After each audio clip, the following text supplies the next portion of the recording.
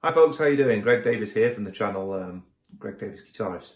Uh, something a little bit different for you today guys. I'm going to do a review and a demonstration on this fantastic Hilditch Bobcat guitar in Manalishi Green.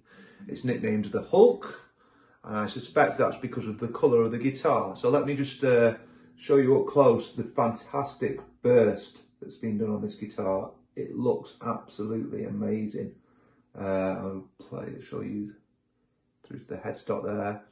And then on the back here, you've got this five wood neck with some maple and mahogany on there. The body's mahogany. The neck is absolutely fantastic.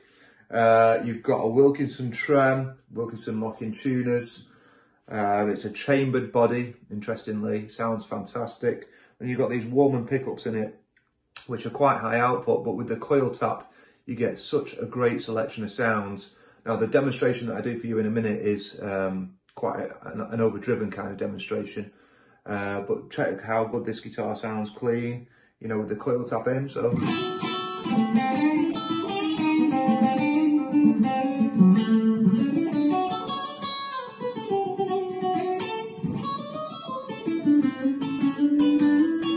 You know, it sounds fantastic. So you get all them stratty kind of tones. Um, I can't think of much else to say apart from how fantastic this neck is. I mean, all Mark's necks from Hilditch are absolutely top, top class. For me, this guitar is comparable to a PRS as, uh, and any of those top brands. And uh, at the guitar show that we did in Birmingham fairly, fairly recently, I was impressed with how much attention Mark Stoll got. And then uh, you can only put that down to the quality of the guitars. So enjoy the demo. Here we go.